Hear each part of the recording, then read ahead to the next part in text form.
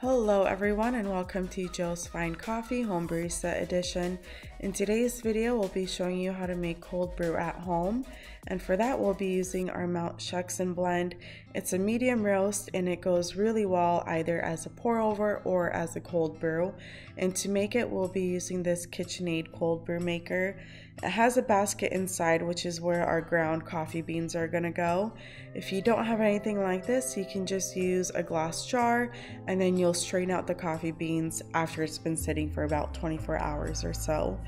And I'm gonna do more of a cold brew concentrate, so I'm gonna do a 1 to 4 ratio. If you want a cold brew that's ready to drink, feel free to do a 1 to 8 ratio. So that means 1 part coffee, 8 parts water. And you can see this is more of a light to medium roast bean and it's going to extract so much flavor and be really good as a cold brew. So once I measured out my one cup of coffee beans, I'm gonna pour it into my hopper. I'm using a Baratza Encore grinder.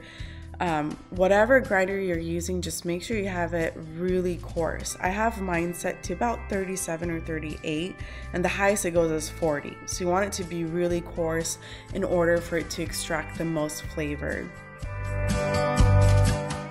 And I'm gonna go ahead and grind my coffee beans. And with the magic of editing, I'm just gonna speed up this process a little bit.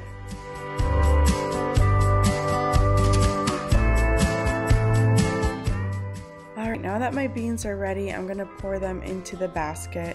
And you can't really tell, but my beans are really coarse. I wanna put an emphasis on that because it's important that your beans are gonna be really coarse when you're making cold brew. And again, since I'm doing more of a cold brew concentrate, I'm doing a one to four ratio. So I'm adding my four cups of water over my one cup of ground coffee beans. And a little pro tip, add some blackberries to your coffee beans. It is so good and perfect as a cold summer drink. And that is basically it. All we're gonna do is pop this into the fridge and leave it in there for about 12 to 24 hours. I'd recommend 24 hours because it'll extract all the goodness from the coffee beans. And fast forward 24 hours, our cold brew is now ready. You can see that it's gotten darker in color. And the last thing we have left to do is to take out the ground coffee beans. So I'm just gonna strain them for a little bit and then toss them and then I won't be putting the basket back in.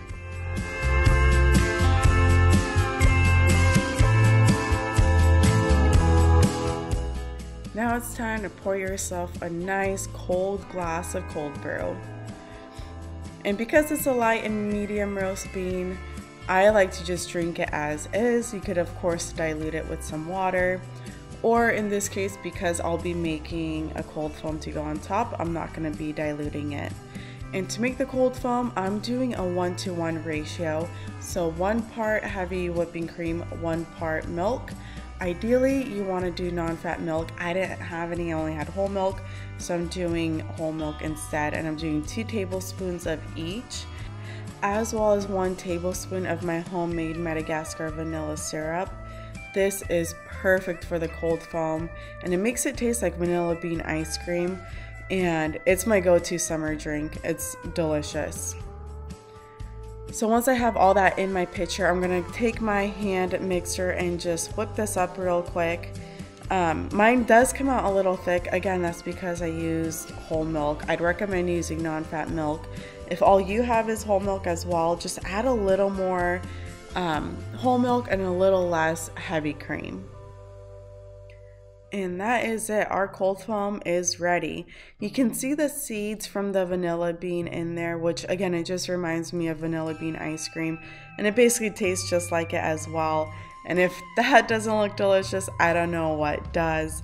Hopefully, you get to try this drink out. I'm sure it will become your new summer favorite, as it is mine and a go to drink.